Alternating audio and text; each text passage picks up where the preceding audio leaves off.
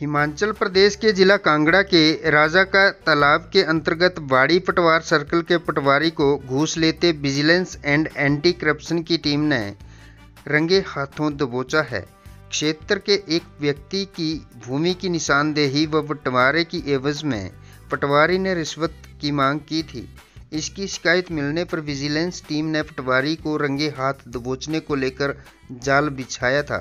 सोमवार को टीम ने कार्रवाई करते हुए पटवारी को पंद्रह हज़ार रुपये रिश्वत लेते रंगे हाथ धर लिया।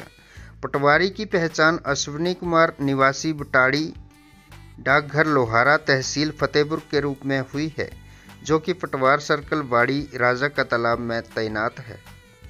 Additional SP vigilance Balbir Jaswal ने बताया कि पटवारी अश्विनी कुमार के खिलाफ विजिलेंस थाने में जगदीश चंद निवासी कुटखाना, डाकघर कुंडल तहसील फतेहपुर ने शिकायत दर्ज करवाई थी।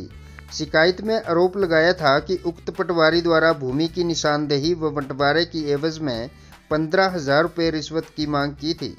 जगदीश चंद के अस्वस्थ होने के चलते विजिलेंस टीम ने उनके घर जाकर शिकायत दर्ज की थी। जिस पर कार्रवाई करते हुए सोमवार शाम को विजिलेंस टीम ने पटवारी को रिश्वत लेते रंगे हाथों गिरफ़्तार किया है। गिरफ़्तार पटवारी को मंगलवार को स्पेशल जज की अदालत में पेश किया जाएगा।